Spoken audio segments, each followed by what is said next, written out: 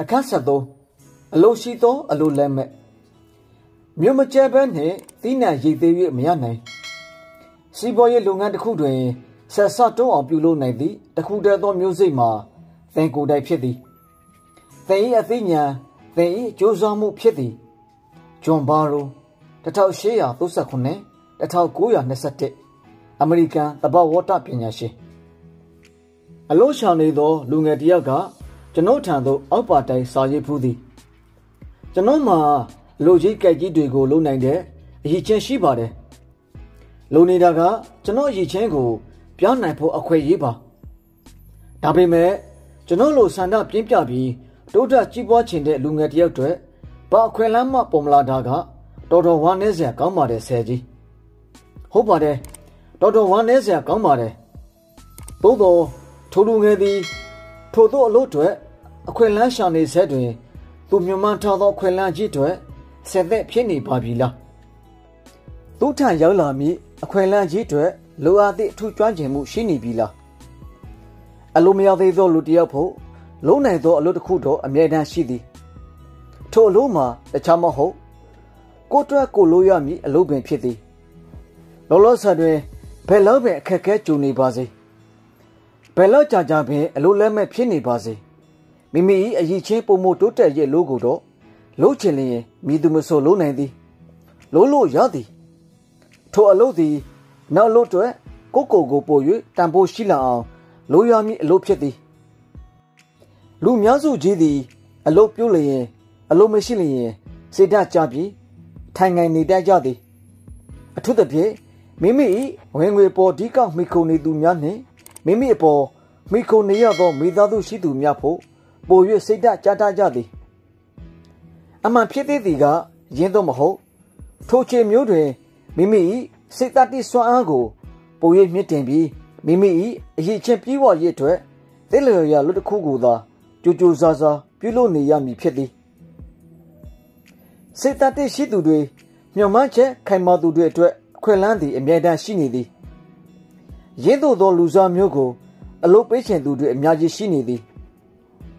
အလိုမရှိတော့လဲစိတ်တက်မချပဲမိမိဤလို့ရီကရီတိုးပွားအောင်ကြိုးစားလို့ကံရင်တစ်ချိန်တွင် ကြီးပွားချမ်းသာသွားကြသူပေါင်းမြေများစွာကိုကျွန်ုပ်တွေ့ဖူးသည်သူတို့သည်နောက်ပေါ်လာမည်အခွင့်အလမ်းအတွက်မိမိကိုယ်ကိုအရေးချင်းထပ်ဖိထားကြသည်ထို့ကြောင့်အလိုမရနိုင်၍ထိုင်ငယ်မနေပါနှင့် လောကကြီးကမတရားဘူးဆိုပြီးညီးတွားမနေပါနှင့်အခွင့်အလမ်းကမိမိထံမှသာရှိသည်စိတ်အားထက်သန်မှုနှင့်ရည်မှချက်ခံမှမှုရှိလျင်တနေ့တွင်အောင်မြင်ရမည်သာဖြစ်သည်အလုတ်ကရှာဖွေရေးဌာနများ၌တန်းစီနေကြသောလူအိုကြီးထဲတွင်အများစုတွေ့ရသည်မှာမိမိတို့ရှာဖွေနေသောအလုတ်တွေအရေးချင်းမပြေဝသူများအလုတ်တစ်ခုကိုပြည်စည်းသည့်အထိမလုပ်တတ်သူများ စိတ်ဆက်သိချမှုမရှိသူများစွမ်းဆောင်ရည်မရှိသူများသာဖြစ်သည်သူတို့သည်ဘယ်အလို့ကိုများတခုကမကျွမ်းကျင်ကြမတတ်ကြသူတို့သည်တီထွင်ညာရှိသူနှင့်တီထွင်ညာမရှိသူတို့၏ခြားနာချက်ကိုမသိကြမလေ့လာကြအလို့တခုကိုတီထွင်ညာဖြင့်အကောင့်ဆုံးလုံးတသူသည်အလို့လက်မဲ့ဖြစ်ဖို့ခဲရင်းသည်နိုင်ငံနဲ့ချီပြီးစီးပွားရေးအခက်အခဲကြုံမှသာလျင်အလို့လက်မဲ့ဖြစ်လိမ့်မည် ထိုလူမျိုးကိုဘယ်လုပ်ငန်းဘယ်ကုမ္ပဏီကမဆိုအမြဲတမ်းလိုချင်သည်မတခဏလုတ်သက်ရှာဖွေနေသူများသည်လုပ်ငန်းကျွမ်းကျင်မှုမရှိသူများအပြည့်ကြီးသူများဒီထွင်ညာမရှိသူများကြိုးစားမှုမရှိသူများသာဖြစ်ကြသည်ဤသို့သောလူစားမျိုးသည်ဘယ်လုပ်ငန်းတွေမှာတာရှိမမြဲနိုင်ဘယ်လုပ်ငန်းပဲကြီးလိုက်ကြီးလိုက်ကျွမ်းကျင်မှုမရှိသူတွေသာများဆိုတွေ့ရသည် ဒီထွင်ညာမရှိသူတွေနဲ့သာစကန်သွားနေကြရသည်ကိုမြင်နေရသည် သူတို့သည် လူကျက်တူရွေးတွေသာဖြစ်ကြသည် သူတို့မှာပေကိုအည်သွေးမရှိကြဘယ်အလိုမျိုးမဆိုအဖြစ်သာလုပ်ခြင်းပြည်စလွယ်ဖြစ်ကတဆန်းလုပ်ခြင်းသည် အလိုလက်မဲ့ဖြစ်ရန်အဓိကအကြောင်းကြီးတရားဖြစ်သည်မိမိတို့၏တယ်လန်တကာပေါက်ကိုဖွဲ့တော်တော့သည် လို့ရှင်လက်ထဲမှသာရှိသည်ဟု အလိုသမားများစုယူဆကြသည် ထိုအယူဆသည်လုံးဝမှားသည်အမှန်မှာမိမိတို့၏တန်လန်းသောသည်မိမိတို့၏လက်ထဲမှာသာရှိနေသည်တကားကိုဖွင့်မိလားပိတ်ထားမိလားတာမန်စရိတ်ကလေးစင်းမှာပင်နေမိလားမန်နေဂျာစိတ်ကိုတဲမိလားဆိုသည်မှာမိမိပေါ်တွင်သောလောဝတည်နေသည်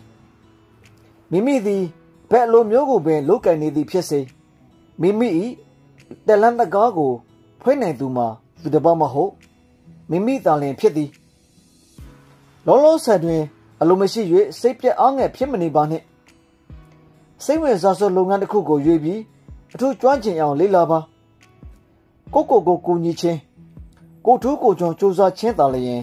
မိမိ၏ဆင်းရဲတွင်မှလောမြောက်ရာလောမြောက်ကြောင်းဒီလန်ကောင်းဖြစ်သည်လူတအုပ်ကအချတအုပ်ကိုကူညီဖို့ဆိုသည်မှာလွယ်ကူသောအလုပ်မဟုတ်လူတိုင်းပင် ကိုကိစ္စနဲ့ကိုအလို့ရှုံနေကြသည်သူတစ်ပါးကိုကူညီခြင်းသည့်တိုင်အောင်ကူညီဖို့အခြေမရှိအခြေအနေမပေးသို့တော့မိမိကိုမိမိကူညီသူများကိုမူတပားသူကကူညီပေးတတ်ကြသည်ဘယ်အလို့ကိုမဆိုကောင်းစိုးဖြစ်အောင်စိစက်သိချစွာကြိုးစားလုပ်ကြတတ်သူတွေဘယ်တော့မှအလိုမရှာနိုင်စိစက်သိချမှုလက်ရမြောက်မှုသည်အလိုသမားတယောက်၏အကြီးဆုံးဂုဏ်ရည်ဖြစ်သည် ကိုကိုကိုကူညီသူစွမ်းဆောင်ရည်ပြီးဝသူတွေအလိုလည်းအမြဲတမ်းရှိသည်ဝင်ငွေလည်းအမြဲတမ်းကောင်းသည်ယခုခေတ်သည်ပညာခေတ်ဖြစ်သည်ဘယ်ခေတ်ကမှယခုခေတ်လောက်ပညာတတ်ဖို့မတိုးတက်ခဲ့ပညာတွင်ဘုသူတထပ်ပြည့်လဲလျင်သေတိရှင်ဖြစ်လာတော့သည်အချိန်မရွေးအလို့ရနိုင်တော့သည်စီးပွားရေးလုပ်ငန်းတွေအမျိုးမျိုးအဖို့ဖို့ပေါ်ပေါက်လာသည်နှင့်အမျှအသိပညာ တတ်ပညာတွေလည်းအများကြီးတိုးပွားလာသောယခုခေတ်တွင် ကိုကိုကိုကူညီပြီးအရေးချင်းပြေဝအောင်ဖြစ်စည်းထားသူတွေအတွက်ရွှေလန်းကြီးပွင့်နေသည်ငွေကြေးအရင်နှင့်မရှိတော့လဲကိုစွမ်းကိုစွအရင်နှင့်ဖြင့်ကြီးပွားနိုင်သည်ထို့ကြောင့်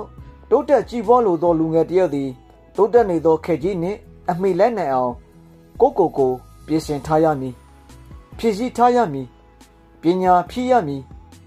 ဘိုးသူတနှင့် ကျွမ်းကျင်မှုဖြည့်ရမည်ဤခက်တွင်စီးပွားရေးပြိုင်နေကြသည်ပညာပြိုင်နေကြသည်စွမ်းဆောင်ရည်ပြိုင်နေကြသည် လူတဲသည်ပြိုင်ပွဲဝင်များဖြစ်ကြသည်ပြိုင်ပွဲတွင်အနိုင်ရချင်လျင်ပွဲမဝင်ခင်အပြင်ကလေ့ကျင့်ထားရမည်အဓိကအချက်ကတော့ဤပြိုင်ပွဲတွင်အနိုင်ရချင်လျင်မိမိ၏အာလာချေကို အလဟာသအရှင်ကြီးဖြိုတီမပဲ့ပဲပညာနှင့် ဘိုးသူတက်တစ်ခုခုရအောင်ကြိုးစားဖို့ပင်ဖြစ်သည်အခွင့်အလန်းကိုရအောင်ဖားဖို့ရမှာမိမိသာလျင်ပဓာနဖြစ်သည်